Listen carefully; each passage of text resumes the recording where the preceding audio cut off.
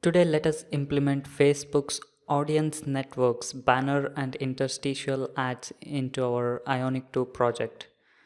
I have already created a project called Technotip with blank template. Remember this is an Ionic 2 project. So I have used this command ionic start space project name space template name that is blank double hyphen v2 which means it's an ionic 2 project so this is our project with some so ionic 2 files. Let me get inside the project folder and also open it up using visual studio code. Let me show you how it looks on the chrome browser.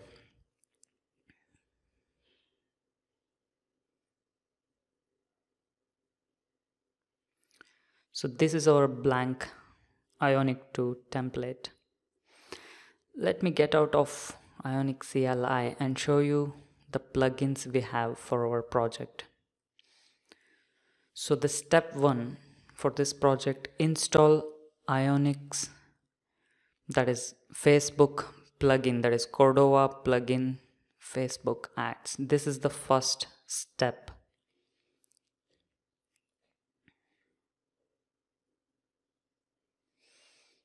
it also installs dependency plugins.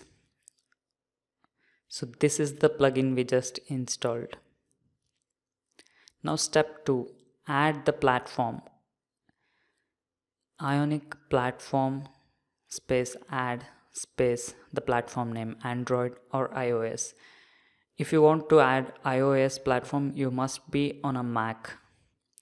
I have already done that so i'll skip doing that once again so the step three is the actual coding. So I'll declare, first I'll show you how to implement the banner ads. So declare a variable called Facebook ads of type any.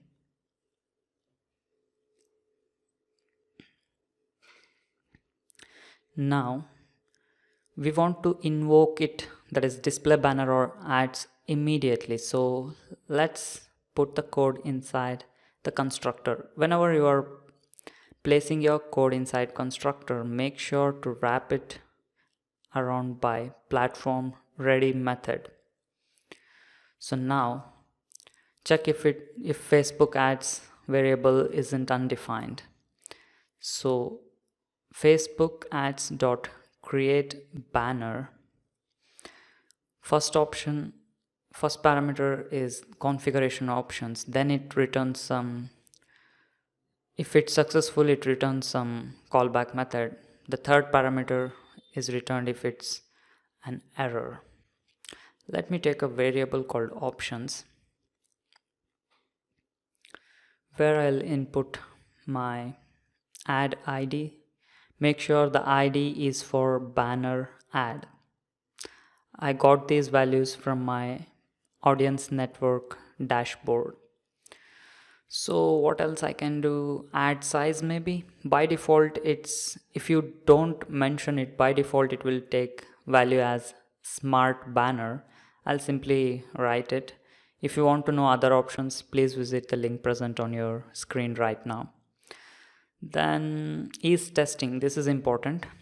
I'll keep it false. Let's see some real ads for the first time we could even write about position.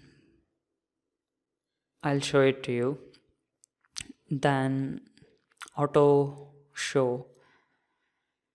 We could make it true or false. If it is true you need not invoke another method called show banner.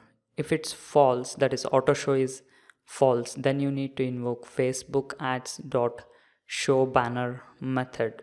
It also takes one parameter which is number which represents position of your ad. 8 means bottom center. So if auto show is true you need not invoke this show banner method. You you can directly give value to position here itself. By default it is 8 that is bottom center so let's check it out in the on the real device.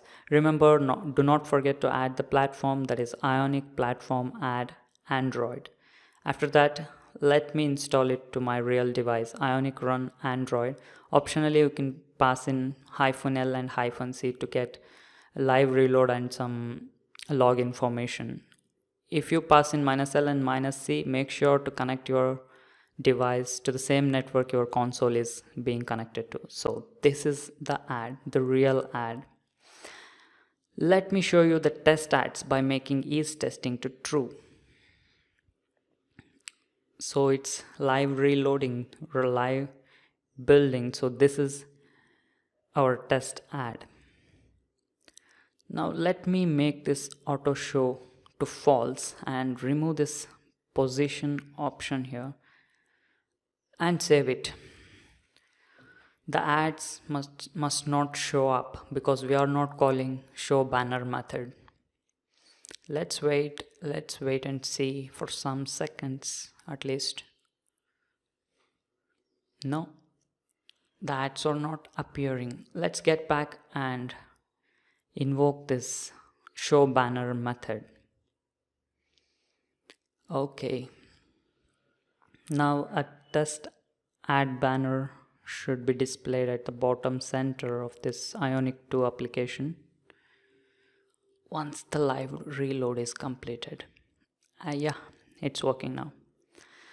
That's it for banner ads. Let me quickly show you interstitial ads. So let me create, place a button here on the home page once the user clicks on the button, we will show the interstitial ads.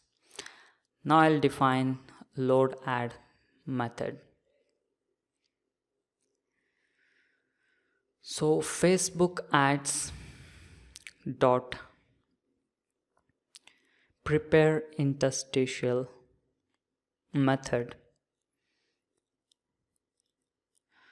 Well, let let's wrap it around let's check if the variable facebook ads actually has any value that is it's not undefined and let me take a local variable here called options and pass in my interstitial ad units id which I have copied here from my audience networks dashboard. Let me pass in the options as first parameter. The second parameter is the success callback and the third parameter is error callback. So once successful, let's invoke show interstitial method. That's it the interstitial ads should start showing once user clicks on show ads button. Let me click it. Within few seconds, the ad gets prepared and gets shown up on the screen. So this is the test ad. Let me show some real ads too. Remember Facebook ads is a global variable. So the configuration even reflects across the application so you can see real banner ad here. Let me click show ads button.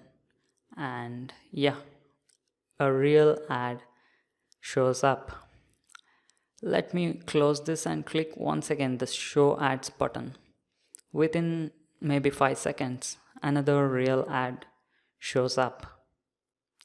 Yeah that's it. So this is how we implement Facebook's audience networks, banner as well as interstitial ads. In my next video tutorial, I'll show Facebook audience networks native ads implementation in Ionic 2 projects. Please share this video that is please share the link for this video tutorial with your friends on Facebook, LinkedIn, Google+, StumbleUpon, Reddit, etc and please subscribe to our blog technotip.com and to our youtube channel. And do not forget to like this video on youtube. Thank you